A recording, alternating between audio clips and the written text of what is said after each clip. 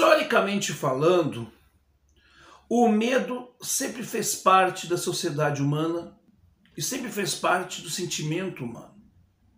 Portanto, todos nós temos medo. O genial Roberto Gomes Bolanhos, com o seu inesquecível Chapolin Colorado, ele mostra que ter medo e demonstrar ter medo não é um sinônimo de falta de coragem. A coragem se dá quando a gente enfrenta este medo e até tem a coragem de expor ele. O porquê que eu estou falando isto? Porque o medo sempre foi uma forma de controle. Na Idade Média, nós vamos ter a Igreja Católica usando a figura do diabo, essa que a gente conhece aí, né, desse homem com dois chifres na cabeça, cheiro de enxofre, né, rabo, rabo, etc, etc, né, para atemorizar a população de então, para que essa população não se levantasse contra a Igreja Católica.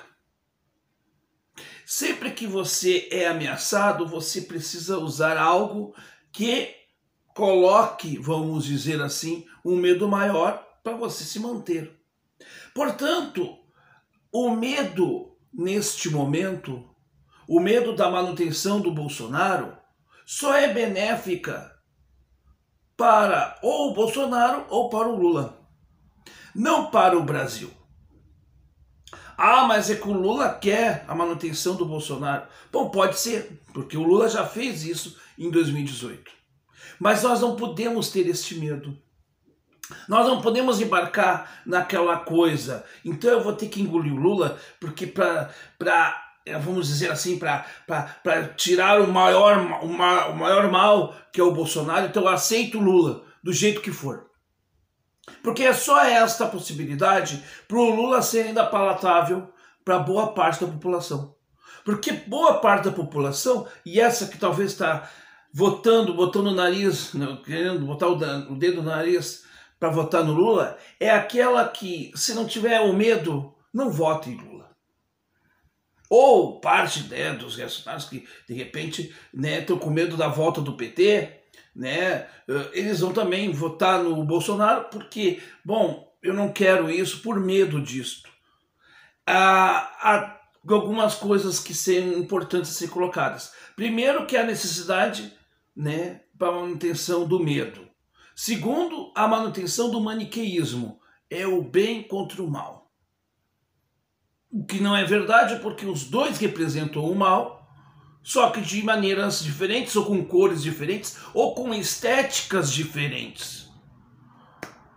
E o terceiro item dessa, desse caldo todo é exatamente a necessidade de serem donos da verdade e de silenciar o outro, porque ambos, bolsonaristas e lulistas, não têm argumentos, porque não podem explicar, não vão conseguir explicar os malfeitos dos seus ídolos.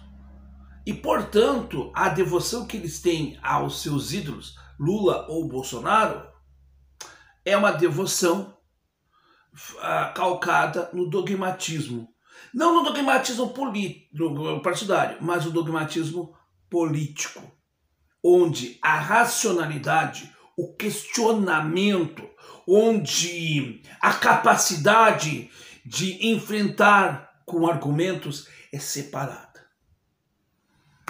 Meus caros, eu não tenho medo da reeleição do Bolsonaro, porque acredito que não vai acontecer por um simples motivo, e vou dizer aqui, porque aquele que quer levantar a bola para Bolsonaro, para eles fazerem o show, para um ser escada do outro, se desmoraliza cada dia que passa.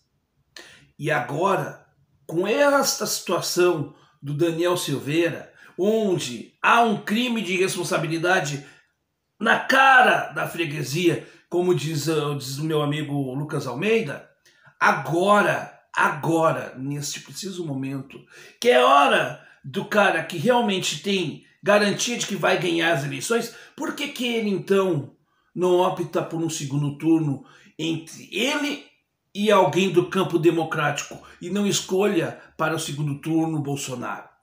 Por que, que Lula, que até agora não assinou um único pedido de impeachment, nem o seu partido, por que, que agora não assinam um pedido de impeachment, destituem Bolsonaro, colocam Bolsonaro inelegível e vamos colocar um debate político franco e aberto?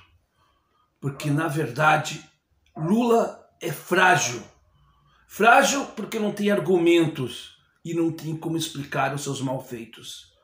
Frágil porque precisa de Bolsonaro para coexistir. Sem Bolsonaro, Lula não existe. Sem Lula, Bolsonaro não existe. Esta é a correlação de forças. Mas quem quer que mostre o caminho alternativo tem que ter essa coragem para falar isso para a população.